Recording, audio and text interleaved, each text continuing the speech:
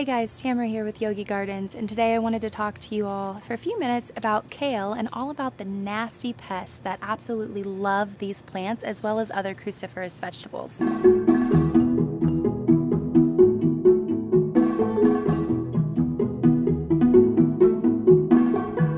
Kale is a cool weather crop. It is very, very cold tolerant and actually gets sweeter in colder weather. Most people will harvest their kale when temperatures start to get hotter in the summer, but what I like to do is to just keep picking it for my smoothies or whatever it is that I might be using my kale for.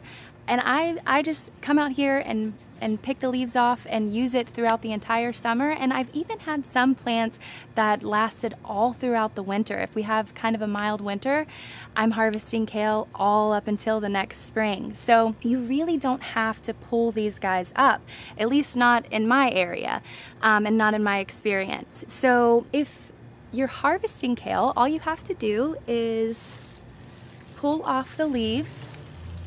You can come down to about where the leaf starts. You don't want to, you know, pull too much off and disturb it too much, but you can just pull it off at the stem like that and pick off whatever you like. I, I think the baby kale tastes really good, but you can also obviously grab some of these bigger leaves.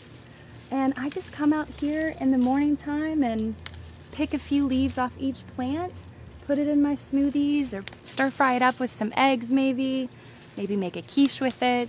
And I do this all throughout the summer. Some people will say that you know, it, it, gets a little bit of a different flavor throughout the summer. I haven't really noticed much of that, or maybe it's just that I still like the flavor any anyway, regardless. All right, so let's talk a little bit about what pest that these guys can get. Now, there's so many that absolutely love kale um, or anything in the brassica family. Bugs just completely attack them, and honestly, I've given up so many times when trying to grow cruciferous vegetables because honestly, I just struggle with bugs and and sometimes it just it seems like a losing battle. So one bug in particular that I have problems with is the cabbage worm. Now, you may see some really beautiful white butterflies uh, flying around your garden. I used to admire them out of my kitchen window. I thought they were so pretty. And uh, those are some little nasty critters. I tell you what, they will leave hundreds of eggs all over your plants. Next thing you know, you're gonna have hundreds of eggs, which turn into little bitty worms that grow into caterpillars and just completely eat the crap out of all your vegetables and you will be pissed because every year I am pissed. There are a couple different things that you can do to control these bugs. Now there like I said there are other bugs that that do attack these such as aphids or cabbage loopers, but the cabbage worm is probably the worst one that I've had to deal with. And the methods that I'm going to share with you today will actually keep all of those bugs away. So you won't have to worry about any of them at all. Okay, so let's talk about the first thing you can do. Um, all of your cabbage worms are not going to like thyme, mint, marigolds. So a lot of your herbs, they are going to absolutely hate and it will keep them away. But they don't always keep them away. Um, I have done companion planting before with these and still somehow I still end up with some and one can turn into hundreds. So I still plant some of these around um, my cabbage plants or kale or collards just to have like that extra protection. Hi kitty. Um, and also one other thing you can do is use neem oil. And in the past I have found this pretty effective. The only problem with it is that every time it rains, it washes all of the neem oil away and then you have to spray it all over again. So it can kind of be a pain in the butt. Um, but if you want to use neem oil, you can get a concentrate like this and then follow the directions and put it in a spray bottle. Now when you, I'm not going to spray these today because I don't have, luckily I don't have any cabbage worms growing on here. But if you did have some cabbage worms, you'd want to spray the entire leaf on the front and especially on the back where all the, the eggs usually are.